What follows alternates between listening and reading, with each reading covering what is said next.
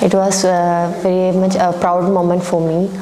This is the first time, uh, so uh, uh, me also uh, very excited to pa- uh, participate in this tournament. So I think the Nepal is given me a chance to participate.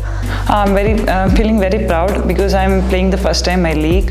Actually, we want this to uh, come to India also. We are not having any league in India, so this has to be happen in India also.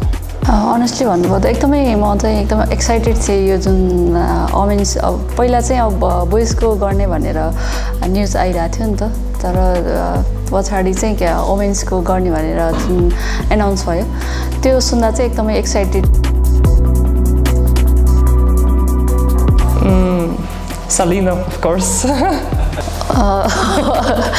Salina of course It's of course Selena. yeah. I think. Uh, Her fa- face is always smile, smiling face. okay, nice. That's Anna.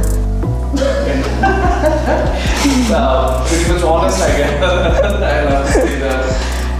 Maybe आना जतिलाई पनि अब म rest गर्छु मलाई के अरे rest पुगिरहेको छैन भनिरहेको हुन्थ्यो मेबी आना नया सा नया जीवन